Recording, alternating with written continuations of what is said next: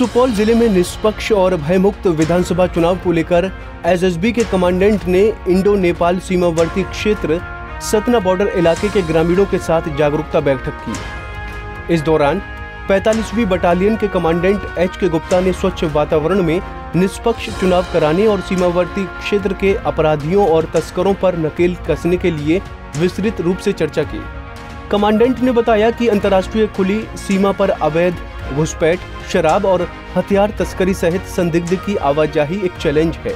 जब तक सीमावर्ती स्थानीय लोग देश के प्रति जागरूक और अवैध चीज़ों पर निगाह नहीं रखेंगे, तब तक बॉर्डर पर ऐसे अवैध गतिविधियों को रोकना संभव नहीं है। क्योंकि अंतर्राष्ट्रीय खुली सीमा पर हर कदम, हर जगह फोर्स या पुलिस उपलब्ध नहीं है। ज़िले में इलेक्शन और लगभग एक महीने बच गए हैं। अंतर्राष्ट्रीय सीमा सील है, लेकिन अवैध घुसपैठ, शराब की तस्करी, हथियार की आवाजाही को रोकना चैलेंज है, क्योंकि ये खुली बॉर्डर है। जब तक स्थानीय जनता जागरूक नहीं रहेगी और अवैध चीज़ों पर निगाह नहीं रखेगी, तब तक हर चीज़ को रोकना संभव नहीं है, क्योंकि हर कदम पे फोर्स या पुलिस उपलब्ध नहीं है। इसलिए स्थानीय जनता को स्वच्छ चुनाव के लिए जागरूक करना ज़रूरी है। और हमारा उद्देश्य है कि हर सीमा चौकी पर जाकर स्थानीय नागरिकों के साथ बैठक करें और उनको जागरूक करें ताकि स्वच्छ और बढ़िया से चुनाव हो क्योंकि अभी कोविड का भी चल रहा है तो लोग अपना एक सोशल डिस्टेंसिंग भी बना के रखें नियमों का पालन करें। वहीं इस मौके पर मौजूद सीमावर्ती ग्रामीणों ने हर तरह का सहयोग देने का भरोसा देने की बात बताया। अंतर्राष्ट्रीय बॉर्डर है और खुला बॉर्डर है। हम लोग का घर यहीं बॉर्डर के बगल में पड़ता है और जैसे कमांडेंट साहब की तरफ़ से कहना हुआ, जो कोर्स पूरा नहीं है, उतना हम लोग यहाँ के लोगों को जानते हैं।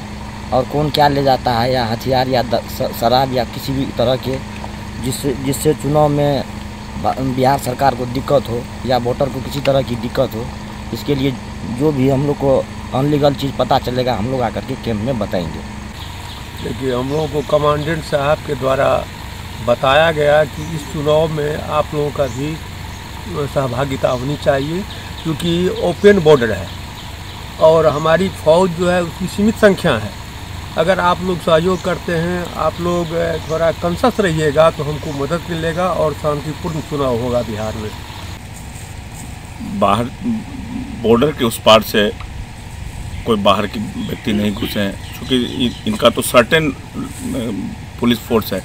हम लोग तो अगर मोहल्ले में रहते हैं सब तो उसमें कहीं कोई बाहरी व्यक्ति आ, आ जा रहे हैं या कोई शराब का कोई कारोबार कर रहा है इस तरह का सहयोग मांगा गया है कि अगर आपको जान आपके जानकारी में है तो आप हमें बता आपको बता दें कि बिहार विधानसभा चुनाव को लेकर पुलिस प्रशासन अलर्ट है जिसको लेकर नेपाल के हर एक सीमावर्ती बॉर्डर आउटपोस्ट इलाके में जाकर स्थानीय लोगों को जागरूक किया जा रहा है ताकि आगामी विधानसभा चुनाव में अजनबी व्यक्ति आर्म्स तस्कर शराब तस्कर सहित अन्य गतिविधि पर लगाम लगाकर निष्पक्ष, भयमुक्त चुनाव कराए जा सके।